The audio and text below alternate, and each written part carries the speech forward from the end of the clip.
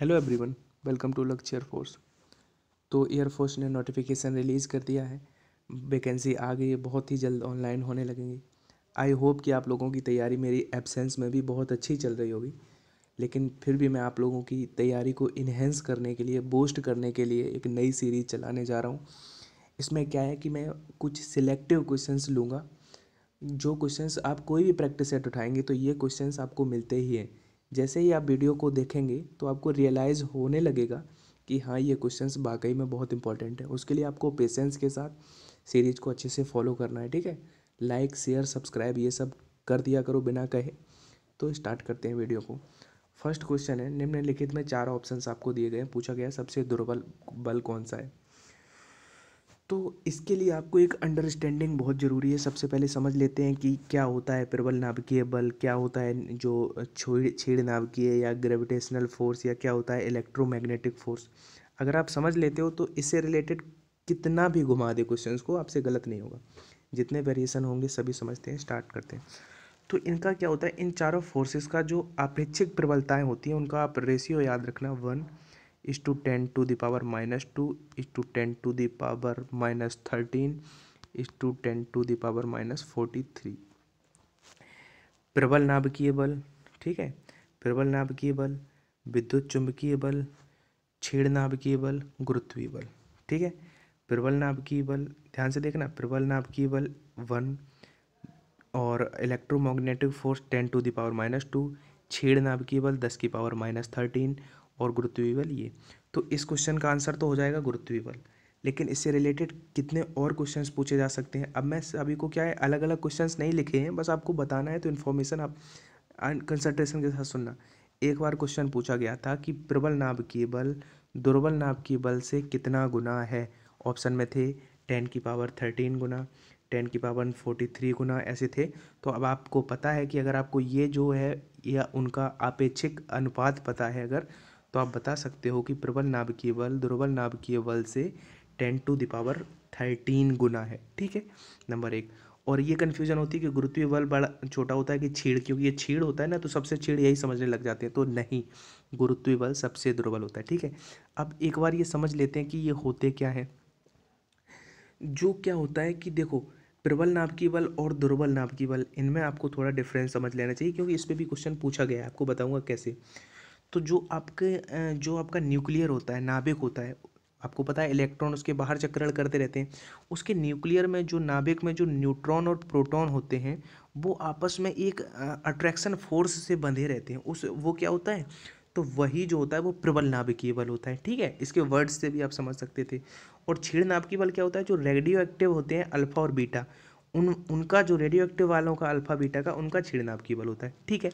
और एक क्वेश्चन ये भी पूछा गया था कि इसमें इसी के अंतर पे डिफरेंस पे क्वेश्चन बनता है, वो कैसे फ्रेमिंग करता है, वो वो एग्जामिनर जाने, आपने समझ लिया कि क्या डिफरेंस होता है बेसिक और ये पूछा जाता है कि इन चारों में ऐसा कौन सा फोर्स है?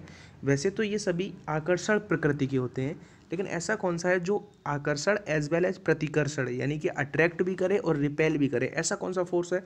तो वो केवल इलेक्ट्रोमैग्नेटिक फोर्स यानी कि विद्युत चुंबकीय बल होता है, वो केवल ऐसा बल होता है जो अट्रैक्ट भी करता है और रिपेल भी करता है, ठीक है? यानी कि उसमें आकर्षण और प्रतिकर्षण दोनों की प्रगति होती है। और गुरुत्वीय बल है, एक बार ये भी पूछा गया था, कैसा है ये संरक्षी कंजर्वेसिव संरक्षी होता है ठीक है? ये इस तरह से पूछा गया। तो इस तरह से आप वो रेशियो याद रखना जो मैंने बत, बताया था one is to ten to the power minus two minus thirteen minus thirty eight ठीक है? तो आई होप आप लोगों को यहाँ से जो इन्फॉर्मेशन देखो लिखते भी जाया करो यार ठीक है? क्योंकि अगर आप नोट्स नहीं बनाते हो तो आप अपने साथ धोखा कर रहे हो। क्योंकि ह्यूमन की एक वो होती है ह्यूमन माइंड की कि वो चीज़ों को भूलता जल्दी है क्योंकि और ज़रूरी भी है नहीं तो वो पागल हो जाएगा। तो उसको रिकॉल करने के लिए आप शॉर्ट नोट्स बना लिया करो। जो जल्द रिकॉल हो जाए, जब आप एग्ज़ाम देने जाओ उसे एक दो दिन पहले, ठीक है? नेक्स्ट क्वेश्चन है, इसमें भी एक क्वेश्चन के थ्रू मैंने आपको कई इन्फॉर्मेशन देने की कोशिश की है। आइए देखते हैं। आपको मैच द फॉलोइंग है, इस तरह से क्वेश्चन आता है एयरफोर्स का फेवरेट पैटर्न है क्वेश्चन इस तरह का ज़रूर मिल जाता है। तो पहले तो समझ लेते हैं। अब देखो, इसमें से क्या है, जैसे यंग है तो यंग का प्रत्यास्था आप इजीली बता दोगे कि यंग का प्रत्यास्था होता है, ठीक है? और बेतार जो जो वायरलेस टेलीग्राफी होती है, वो मार्कोनी ने खोज की थी, ठीक है? आइंस्टीन ने क्या किया था? हैजनबर्ग ने अनिश्चितता का सिद्धांत, हाइजेनबर्ग का अनिश्चितता का सिद्धांत, ठीक है? और बोहर का क्वांटम सिद्धांत है, आप देखते जाना इसका, फिर बाद में स्क्रीनशॉट और एक क्वेश्चन है, विद्युत धारा का चुंबकीय प्रभाव। इसको क्या है कि ये ओरेस्टेड ने किया था, ठीक है? ओरेस्टेड ने। और अब क्या बचा है? अब बचा है आइंस्टीन। तो प्रकाश विद्युत प्रभाव की व्याख्या आइंस्टीन ने की थी। अब आप इसका स्क्रीनशॉट ले लो। अब इसमें एक कन्फ्यूज़न हो रही होगी कि जो जो और स्टेट है, ये विद्युत धारा का चुंबकीय प्रभाव कैसे है? तो मैं आपको बता दूँ, जो प्रकाश का विद्युत चुंबकीय प्रभाव, विद्युत चुंबकीय सिद्धांत होता है, वो मैक्सवेल ने किया था। याद रखना, प्रकाश का विद्युत चुंबकीय सिद्धांत मैक्सवेल ने दिया था, फेराडे ने दिया था विद्युत चुंबकीय प्रेरण। ठीक है, मेरे वर्ड्स पे ध्यान देना बहुत ध्यान से देखना इस वीडियो को।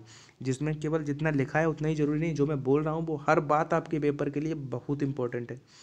तो क्या मैं बता रहा हूँ कि मैक्सवेल ने प्रकाश का विद्युत चुंबकीय सिद्धांत दिया था, फेराडे ने विद्युत चुंबकीय प्रेरण इलेक्ट्रोमैग्नेटिक कंडक्शन दिया था, और ओरेस्टेड ने सबसे पहले सबसे पहले विद्युत धारा का चुंबकीय प्रभाव दिया था, ठीक। तो और एक क्वेश्चन यहाँ पे मैं और लिख दूँ जो बहुत पूछा जाता है, ट्रांजिस्टर का आविष्कार किसने किया था? तो वो वारडीन ने किया था, वारडीन। इनके आगे भी लिख सकते हो आप डब्ल्यू जे वारडीन। तो आप कोई भी ट्रिक बना के याद कर लो, ट्रांजिस्टर का ये आविष्कारक बहुत पूछा जाता है। ठीक है? नेक्स्ट क्वेश्चन है, सरल लोलक के, देखो ये परसेंटेज त्रुटि का है क्वेश्चन, और बहुत मैंने कराए भी हैं प्रीवियसली आप प्लेलिस्ट में देखोगे तो बहुत कंटेंट अवेलेबल है, उतना डाइजेस्ट अगर आप कर लेते हो तो आई होप मतलब मुझे इतना कॉन्फिडेंस के साथ मैं कह सकता हूँ कि आप एक अच्छा स्कोर करोगे फिजिक्स में पास हो जाओगे। अगर मेरी प्लेलिस्ट अच्छे से देख लेते हो। फिर भी ये क्वेश्चन मुझे टेक्निकल थोड़ा लगा तो मैंने इंक्लूड कर लिया है कि सरल लोलक है। उसके प्रयोग में लोलक की लंबाई के मापन में दो त्रुटि है, जो एरर है, वो दो परसेंट की है, ठीक है? और आवर्तकाल टाइम पीरियड के मापन में थ्री परसेंट की है। तो जी के मापन में अधिकतम प्रतिशत त्रुटि बतानी है। तो अगर अधिकतम प्रतिशत त्रुटि आपको बतानी है तो आपको फॉर्मूला पहले तो पता होना चाहिए T is equal to two pi under root L upon G यही रिलेशन होता है? अब इस रिलेशन में, अब यहाँ पे रूड का चक्कर है यार, कैसे कैलकुलेट करेंगे? बड़ा कन्फ्यूज़न हो रही है। तो क्या करते हैं, इसका स्क्वायर कर देते हैं दोनों पक्षों का। तो T square is equal to हो जाएगा फोर पाई स्क्वायर यहाँ से ये खत्म हो जाएगा एल अपॉन जी अब आपको काय में निकालनी है जी में निकालनी है तो जी को एक साइड कर देते हैं और बाकी सभी को एक साइड कर देते हैं। तो सीधा सीधा जी को उठा के यहाँ पे रख देते हैं और टी स्क्वायर यहाँ था तो वो यहाँ टी स्क्वायर आ जाएगा। तो आपको ये मिल गया। अब जो कॉन्स्टेंट टर्म है उसे इग्नोर कर दो। एल एल के मापन में कितने परसेंटेज के? दो परसेंट की तो दो लिख लो। ठीक है इसमें कोई पावर नहीं है तो उस, उस एक है तो एक का गुणा क्या करें? प्लस लगा दो। अब नीचे वाले में क्या है? टी स्क्वायर है। टी स्क्वायर जी तो यहाँ क्या टी स्क्वायर का स्क्वायर आगे आ जाता है, मैंने बताया था। और टी का कितना है? टी की थ्री है थ्री लिख दिया। ठीक है, जो पावर है वो आगे आ जाती है। तो थ्री टू जा six plus two eight percent इसका राइट आंसर हो जाएगा। अब देखो, जो केवल फ़र्स्ट टाइम परसेंटेज त्रुटि का क्वेश्चन देख रहे हैं तो उनको लग सकता है कि ये क्या हो गया, नीचे था, ये माइनस क्यों नहीं हुआ, क्या नहीं हुआ? तो वो जाके वीडियो देखें। मैंने अच्छे से बताया कि परसेंटेज त्रुटि कैसे निकलती है। सपोज़ आपसे कहता है कि गोले की त्रिज्या में दो परसेंट की त्रुटि है। ध्यान से सुनना। गोले की त्रिज्या में दो प्रतिशत की त्रुटि है तो आयतन में कितने? तो आयतन का सूत्र क्या होता है? चार बटे तीन पाई आर क्यू। अब हमें कॉन्स्टेंट चीज़ों को इग्नोर कर देना होता है, जो पावर है वो आगे आ जाती है। तो आर क्यू में थ्री आगे आ जाएगा और आर की कितनी है? परसेंटेज त्रुटि। त्रिज्या की दो है तो आयतन की हो जाएगी छः प्रतिशत परसेंटेज त्रुटि। यही अगर वो कह देता है, त्रिज्या में तीन परसेंट की त्रुटि है तो क्षेत्रफल में बताओ, क्षेत्रफल होता है फोर पाई आर स्क्वायर अब फोर पाई को इग्नोर कर दो, आर स्क्वायर को ले लो तो आर स्क्वायर का टू आगे आ जाएगा और ये आर का थ्री तो यानी कि सिक्स परसेंट उसकी। तो इस तरह से ये चलता है। फॉर्मूले में क्या होता है, जो पावर होती है वो आगे आ जाती है। तो अगर आपको परसेंटेज त्रुटि आपने नहीं की अच्छे से तो आप ये अच्छे से कंप्लीट कर लेना। एक क्वेश्चन यूजुअली पूछ लिया जाता है। ठीक है? नेक्स्ट क्वेश्चन है, ये आपको दिया है इसमें सार्थक अंकों की संख्या बतानी है। अब ये क्वेश्चन सबसे इजी क्वेश्चन है आज का। इंक्लूड करने का रीज़न कि पता चले, आपको एक टच मिले कि किन जोन से, किन किन किन एरियाज़ से क्वेश्चन एग्जामिनर पूछ सकता है। तो सार्थक अंक इसमें क्या होगा? पॉज करो और ईमानदारी के साथ बताओ कि इसका क्या होगा। तो इसका जो होगा, उसका टू होगा। अब कुछ इसमें फोर किए होंगे। तो मैं आपको बता दूँ पॉइंट के बाद पॉइंट के बाद जो डेसिमल के बाद डेसिमल के बाद जितने भी ज़ीरो रहेंगे उसके बाद कोई डिजिट रहेगा तो वो ज़ीरो काउंट नहीं किए जाते ठीक है? और उस डिजिट के बाद अगर ज़ीरो ही हैं केवल तो वो भी काउंट नहीं किए जाते हैं। लेकिन अगर by the way point zero zero three फिर यहाँ पे ज़ीरो ज़ीरो उन जीरोज़ के बाद अगर कोई डिजिट आ गया है तो वो ज़ीरो बीच वाले काउंट किए जाएँगे तो ये चार हो जाएँगे। यानी कि पॉइंट के बाद अगर ज़ीरो है, तब कोई डिजिट है। तो वो ज़ीरो नहीं लिए जाएँगे। उस डिजिट के बाद अगर ज़ीरो ही हैं केवल तो वो ज़ीरो नहीं लिए जाएँगे। लेकिन अगर उन जीरोज़ के बाद कोई डिजिट है तो वो काउंट किया जाएगा सार्थक अंकमन ठीक है? तो इसमें दो हो जाएँगे, क्योंकि इसके बाद क्या है? इस पॉइंट के बाद ज़ीरो ज़ीरो ज़ीरो। यहाँ पे मान लो एक होता तो फिर ये दो दो, चार और एक पाँच हो जाते, ठीक है? नेक्स्ट क्वेश्चन हर बार पूछा जाता है ऐसा क्वेश्चन एक। अब देखो, एक मैंने हर बार क्या किया? एक क्वेश्चन से कई क्वेश्चन आपको बताने की कोशिश की है। अब इस क्वेश्चन में भी आप लोग देखोगे कि कितने में आपको कॉन्सेप्ट बताता हूँ। ध्यान से सुनना। एक वस्तु है 98 मीटर पर सेकंड के बेग से ऊपर फेंकी जाती है, ठीक है? यदि गुरुत्वीय त्वरण का मान इतना है तो वह दस सेकंड में इतनी मैक्सिमम हाइट पर जाएगी, वह पाँच सेकंड में इतनी हाइट पर जाएगी, वह पृथ्वी पर पाँच सेकंड में वापस आ जाएगी, उसकी गति पाँच सेकंड पश्चात इतनी रह जाएगी। इनमें आपको बताना है कौन सा सही है। तो आप लोग देखो कि मैंने ऐसा फ्रेमिंग की है क्वेश्चन की कि इन चार ऑप्शंस के थ्रू आपको चार तरह के क्वेश्चन बता दूँ। सबसे पहले देख लेते हैं कि जब कोई भी बॉल मान लो सपोज़ आप ऊपर फेंकते हो या कोई वस्तु ऊपर फेंकते हो तो आपसे वो पूछेगा कि किस वेलोसिटी से फेंके कि मैक्सिमम हाइट पे जाए या कितने सेकंड बाद वो वापस आ जाएगी। तो सबसे पहले यही सबसे इम्पोर्टेंट देख लेते हैं कि कितने सेकंड बाद वो वापस आती है। तो जाना और आना ठीक है, जाना और आना में अगर आप देखोगे तो डिस्पेस डिस्प्लेसमेंट ज़ीरो होना चाहिए, यानी कि विस्थापन ज़ीरो होना चाहिए। तो एस इज़ इक्वल टू क्या होता है? U T plus half A T square अब इसमें पॉजिटिव नेगेटिव वाला देख लेते हैं। जब कोई चीज़ ऊपर जाती है तो जो ग्रेविटी होती है वो नेगेटिव रखते हैं, हमेशा याद रखना। और यू यहाँ पे ऊपर जाएगी तो नेगेटिव रखेंगे, ठीक?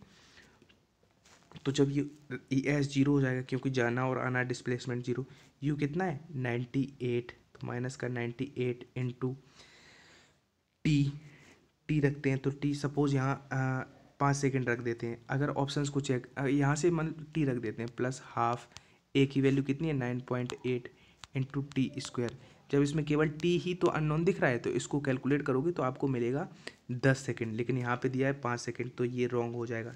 ठीक है? तो यहाँ से आपको पता चला कि ऊपर जाना और आने वाला क्वेश्चन आए तो आप क्या करोगे? डिस्प्लेसमेंट ज़ीरो कर दोगे और इस तरह से कर लोगे। अगर आपसे कहता है कि अब देखो इसमें सेकेंड वाला लगा के देखते हैं। V square is equal to U square plus two G H तो यू स्क्वायर इधर जाएगा तो V square minus U square is equal to two G H इस वाले में अब देखो वी वी कितना है? मैक्सिमम हाइट के लिए कर रहे हैं। ये दूसरी, दूसरा ऑप्शन मैक्सिमम हाइट के लिए वी ज़ीरो हो जाएगा। तो ज़ीरो, क्योंकि ऊपर जाके फाइनल वेलोसिटी ज़ीरो हो जाती है। यू कितना था? Ninety eight into ninety eight is equal to two अब जी की वैल्यू याद रखना, हमेशा माइनस रखते हैं जब ऊपर जाता है। तो माइनस का nine point eight into H तो यहाँ से हाइट कितनी मिलेगी? नाइन पॉइंट एट के यहाँ पे डेसिमल ख़त्म करेंगे। सॉरी यहाँ पे वो कट हो गया। जब डेसिमल ख़त्म करेंगे तो नीचे टेन आ जाएगा। ठीक है तो नाइन पॉइंट एट से नाइन पॉइंट एट कट जाएगा। ठीक है, और टू से ये कट जाएगा फोर नाइन यानी कि फोर्टी नाइन, कितनी? फोर और ये टेन इधर जाएगा, चार सौ नब्बे, यानी कि चार सौ नब्बे मैक्सिमम हाइट, और इसमें कितनी दी है? दस सेकंड में नौ सौ अस्सी मीटर जाएगा। तो दस सेकंड में अभी अपन ने निकाला था, ऊपर जाके नीचे आएगा, इसमें नौ सौ अस्सी दे रहा है, जबकि फोर नाइन्टी तो ये भी गलत हो गया। आप लोग समझ पा रहे हो। अब नेक्स्ट देखते हैं। अब क्या है कि उसकी गति पाँच सेकंड पश्चात forty nine metre per second रह जाएगी। तो इसको कैसे करेंगे? पहले देख लेते हैं कि v is equal to U plus A T ये वाला फॉर्मूला लगा के, क्योंकि सभी ऑप्शन अभी हम चेक कर रहे हैं। अब v कितना हो जाएगा? नाइन वी का मतलब देखो नाइन्टी एट इनिशियल है और वो फाइनल कितनी कह रहा है? फोर कितना कह रहा है? फोर्टी नाइन तो फोर्टी नाइन फाइनल रखते हैं। इनिशियल कितनी है? नाइन्टी एट माइनस ए की value nine point eight into T पाँच सेकेंड कह रहा है तो पाँच रख देते हैं। तो यहाँ से ये इधर सॉल्व करेंगे। तो ninety eight U at T रख दिया, ठीक है? तो इसको सॉल्व करेंगे तो कहीं फाइव एट जा, ज़ीरो फोर फाइव नाइन जा, फोर्टी फाइव और फोर्टी नाइन तो ये फोर्टी नाइन ही हो रहा है। ठीक है तो फोर नाइन्टी एट में से फोर्टी नाइन गया तो फोर्टी नाइन बचा तो forty nine is equal to forty nine, यानी कि ऑप्शन डी आपका मैच हो गया तो डी इसका राइट आंसर हो जाएगा। अब आप लोगों को मैंने बताया सभी आप इनसे चार क्वेश्चन पहला कितने सेकंड बाद पूछा जाता है, ये फॉर्मेशन बस ये याद रखना कि एसिलेरेशन नेगेटिव रखते हैं ऊपर जाने के लिए, ठीक है? इन सभी में अपन ने रख के देखा तो कोई मैच नहीं हुए, ठीक? मुझे ऐसा फील हो रहा है कि इस क्वेश्चन के एक्सप्लेनेशन मैं अच्छे से नहीं दे पाया हूँ। तो अगर आपको ऐसा हुआ है तो बताना कमेंट में। देखो लाइव होता है तो पता चल जाता है, लेकिन बताना तो मैं इसको इंक्लूड और कर लूँगा एक बार। लेकिन इसको तैयार कर लेना इस क्वेश्चन को, क्योंकि ये ज़रूर पूछे जाते हैं। हो जाता है यार कभी कभी इग्नोर किसी नियत बल के अधीन गति कर रहे किसी कण के विस्थापन एक्स तथा टी के बीच का रिलेशन इतना है। टी इज़ इक्वल टू इतना दिया है। तो कण का विस्थापन उस क्षण पर बताना है जब वेलोसिटी ज़ीरो है। क्वेश्चन बड़ा ट्रिकी है, बड़ा लॉजिकल है। कुछ लड़कों की क्या है? आदत हो जाती है कि सर ने बताया था कि शून्य आंसर अगर ऑप्शन में है तो वही होता है। भाई, ये हैबिट अपनी छोड़ दो। हाँ मोस्ट ऑफ़ द टाइम ये सही होता है, लेकिन एक बार कॉन्सेप्ट समझो। क्या होता है? दिया है T is equal to under root X plus three ये क्वेश्चन कई बार आया है, आप प्रैक्टिस सेट उठाओगे तो कई बार ये मिल जाता है। इसकी अप्रोच क्या है मैं बताऊँ? तीन इधर लाओ तो T minus three is equal to under root X आप इसका स्क्वायर कर दो तो टी माइनस थ्री का whole of square is equal to X अब ये नॉर्मल क्वेश्चन बन गया। तो एक बार फिर से लिख देते हैं। जब आप उतना करोगे तो एक्स इज़ इक्वल टू मिल जाएगा टी माइनस थ्री का होल ऑफ़ स्क्वायर, दोनों साइड का स्क्वायर करके, ठीक है? अब नॉर्मली इसका वेलोसिटी क्या होती है? ये आपका बेग बराबर होता है विस्थापन बटे समय, यानी कि डी एक्स बटे डी टी कर देंगे, विस्थापन बटे समय डेरिवेशन कर देंगे तो आ जाएगा। तो इधर क्या आ जाएगा? Two T minus three derivation करना तो आता है। अब आप लोग यहाँ पे देखो कि वेलोसिटी कितनी बता रहा है? ज़ीरो वेग ज़ीरो होने पर हमें बताना है विस्थापन। अब एक आप एक बात देखो कि बेग जी, ये ज़ीरो होने के लिए टी का मान कितना होना चाहिए? यहाँ तीन होगा, तभी तो तीन में से तीन जाके ज़ीरो बनेगा, तभी तो ये बेग ज़ीरो होगा। यानी कि T is equal to three पर आप लॉजिकल सोचो, T is equal to three होगा तो वेलोसिटी ज़ीरो हो जाएगी। तो T is equal to three होने पर वेलोसिटी ज़ीरो दे रहा है, यानी कि टी कितना है? तीन सेकेंड। अब यही विस्थापन, ठीक है। अब तीन सेकेंड था, अब हमें क्या बताना है? विस्थापन, डिस्प्लेसमेंट। और एक्स था क्या विस्थापन? तो इसी, यही तो है विस्थापन X is equal to T minus three का स्क्वायर टी की वैल्यू थ्री उठा के रख देंगे तो थ्री माइनस थ्री का स्क्वायर करेंगे ज़ीरो तो डिस्प्लेसमेंट भी ज़ीरो आ जाएगा। ठीक है? समझ में आ गया होगा। नेक्स्ट है एक ही पदार्थ के दो गोले, जिनकी रेडियस आर और थ्री आर है, एक द्रव में, जिसका घनत्व सिग्मा है, ऊर्ध्वाधर नीचे की ओर गिराए जाते हैं। इनके सीमांत वेगों का अनुपात बताना है। सीमांत वेग का फॉर्मूला होता है दो बटे नौ R square rho minus sigma into G upon eta. ठीक है, ये होता है सिया, क्या होता है श्यांता गुणांक? तो जो सीमांत वेग होता है तो रेडियस के स्क्वायर के डायरेक्टली प्रपोजनल होता है। इतनी सी अगर बात पता है तो स्क्वायर कर दो। तो आर का स्क्वायर आर से आर कट जाएगा वन और थ्री का स्क्वायर करोगे तो वन इज़ टू नाइन इसका राइट आंसर हो जाएगा। और कभी कभी एक उसके रिलेशन पे भी आता है सियान बल का। तो स्टोक्स ने नियम दिया था F is equal to six pi eta R V तो जो सियान बल होता है वो वेलोसिटी के डायरेक्टली प्रिपोजनल और रेडियस के डायरेक्टली प्रिपोजनल और उसके गुणांक के भी डायरेक्टली प्रिपोजनल होता है। ठीक है?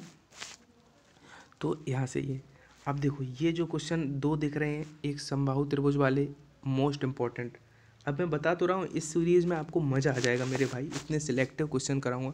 देखो, जिसको अच्छे कंटेंट की कद्र है, जो जानता है कि अच्छा कंटेंट क्या है, जो एक दो बार पेपर दे चुका है, वो तो समझता है कि ये कैसा कंटेंट प्रोवाइड करा रहा है लेक्चर फोर्स और जिनको नहीं पता है तो उनके लिए मैं कुछ नहीं कह सकता हूँ।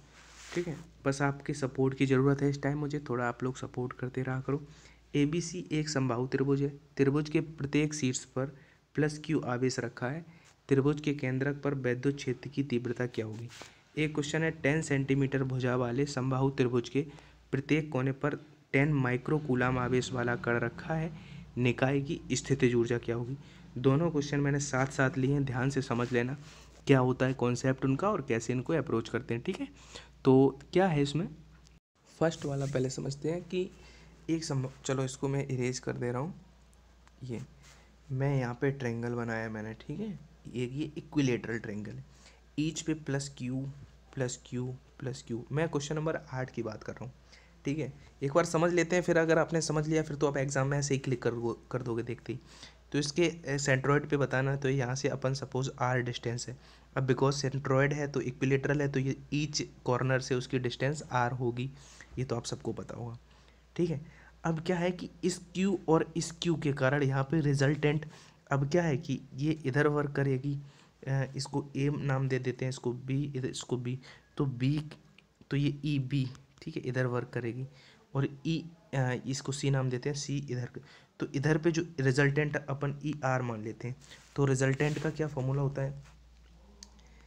ई आर का square is equal to E इस वाली का स्क्वायर बी का स्क्वायर प्लस ई सी का square plus two E B E C ऐसे हो जाएगा?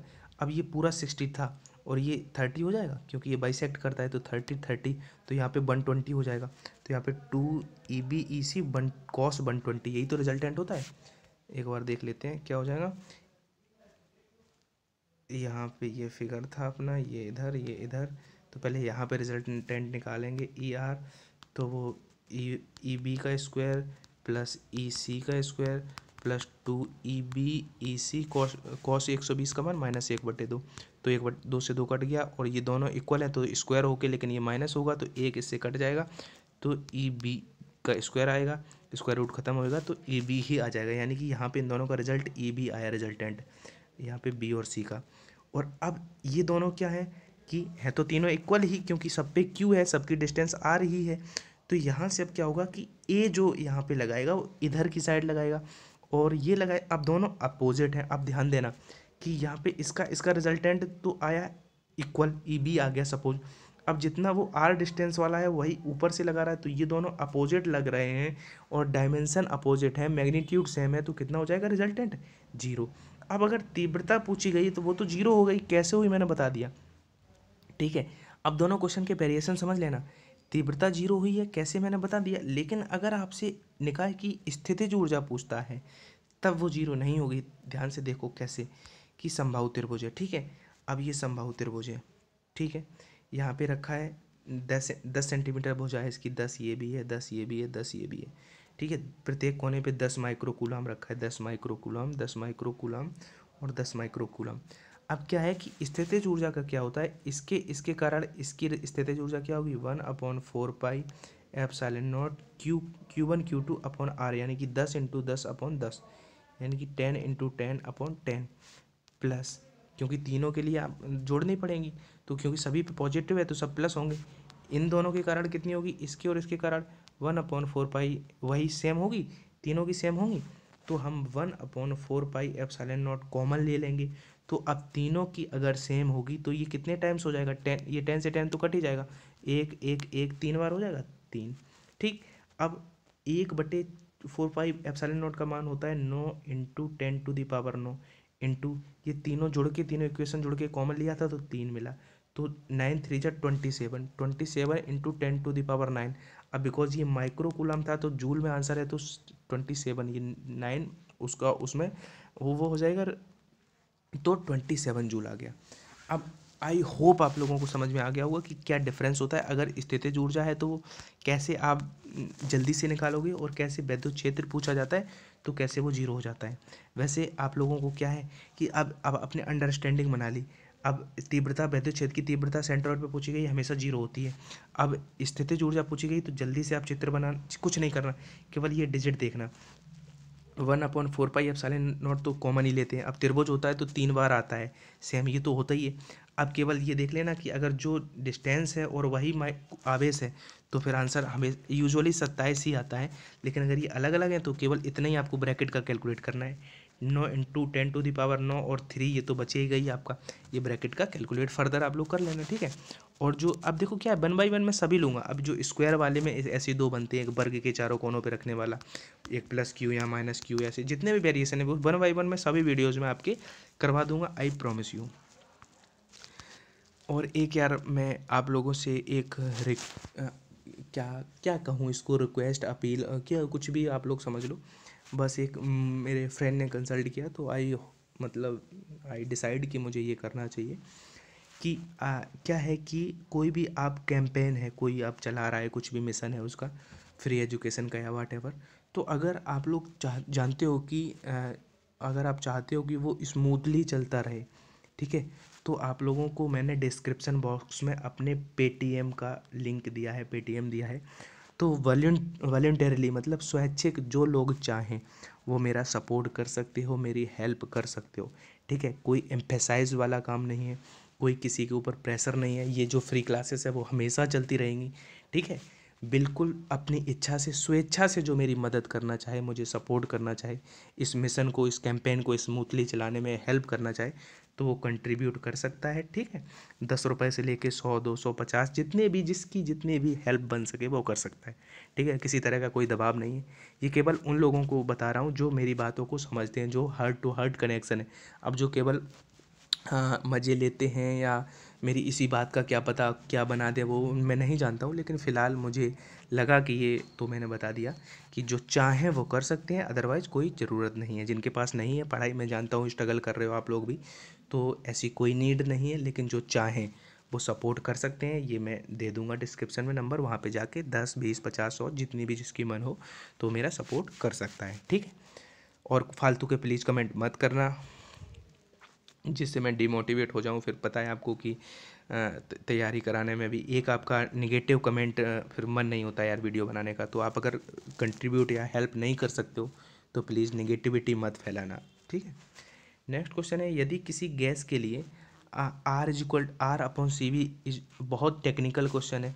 इसके लिए आपको अच्छे से कितना समझना पड़ेगा, कैसे? एक मेयर का फॉर्मूला होता है C P minus C V is equal to R ठीक है?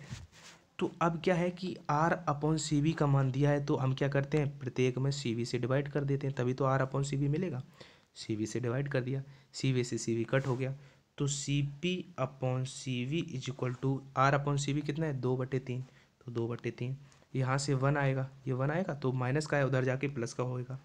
तो ये आपको मिल जाएगा। थ्री वन जा थ्री और टू फाइव बाई थ्री अब आ C P upon C V आया फाइव बाई थ्री अब ये कैसे बताएँ कि एक परमाणु है कि दो परमाणु है कि त्रि परमाणु देखो, इतना स्क्रीनशॉट ले लो, मैं लिख रहा हूँ five by three C P upon C V C P upon C V आया फाइव बाई थ्री कैसे आया? मेयर के सूत्र में हमने प्रत्येक पद में से भाग दे के कैलकुलेट कर लिया। इतना आप काम कर चुके। अब मैंने क्या बताया था कि सी पी होता है F by two plus one और सी वी होता है एफ़ वाई टू ठीक है? F by two plus one होता है सी वी होता है एफ़ वाई टू ये मैं बता चुका हूँ। ठीक है? अब एफ़ जहाँ पे क्या है? फ्री डिग्री अब एक परमाणु के लिए तीन होती है द्वि परमाणु के लिए पाँच होती है, बहु परमाणु के लिए छः होती है। अब आपको, अब कहोगे एग्ज़ाम में इतना टाइम का है? अब आपको इमीडिएट देखना है कि यहाँ पे सबसे पहले मेंटली चेक करते हैं कि एक परमाणु को सपोज़ तो एक परमाणु के लिए थ्री रखेंगे तो थ्री रखेंगे तो टू वन जा टू और थ्री फाइव बाई टू ऊपर मिलेगा और अपॉन में थ्री रखेंगे तो थ्री बाई टू नीचे मिलेगा टू से टू कट गया फाइव बाई थ्री आपका चेक होके आ गया। अब ये सब माइंड में रख, अब सब सपोज़ डाई एटमिक होता तो यहाँ पे कितना रखते? आप फाइव रख फाइव रखते तो फाइव बाई टू तो फाइव टू जा तो सेवन बाई टू होता और यहाँ पे फाइव बाई टू तो five by seven seven by five आ जाता। तो इस तरह से आप देख के कर सकते थे। ठीक है तो आशा करता हूँ ये क्वेश्चंस आपको मदद किए होंगे क्योंकि वीडियो की लेंथ थर्टी मिनट्स ही रहनी चाहिए, नहीं तो फिर इंटरेस्ट ख़त्म हो जाता है लॉन्ग वीडियो तो इस तरह से वीडियोस आते रहेंगे इंपॉर्टेंट सिलेक्टिव क्वेश्चन प्रीवियसली आपको मैं कराता रहूँगा, आपकी हेल्प हेल्प जितनी हो सकेगी करता रहूँगा। मिलते हैं नेक्स्ट वीडियो में और प्लीज़ यार एक रिक्वेस्ट है आप लोगों से कि प्लीज़ वीडियो को एक लाइक ज़रूर कर देना। आपको नहीं पता है कि आपका ये एक लाइक कितना मोटिवेशन देता है हमें नेक्स्ट वीडियो बनाने के लिए। तो मिलते हैं बहुत जल्द ही नेक्स्ट वीडियो में। आप लोग पढ़ते रहिए, सफलता आपको ज़रूर मिलेगी। Thank you